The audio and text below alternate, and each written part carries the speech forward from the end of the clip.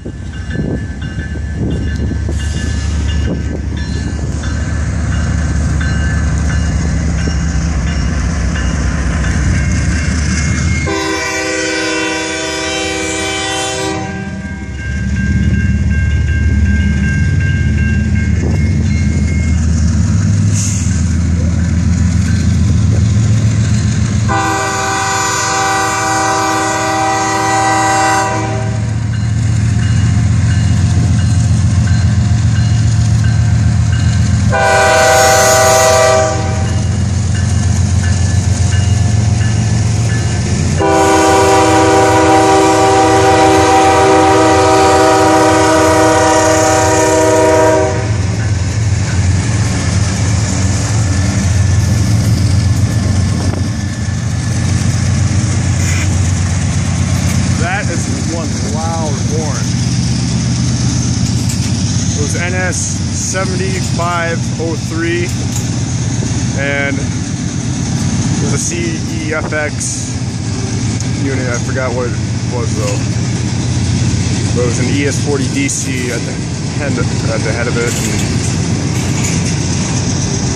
um, there was an AC4400, the second one. So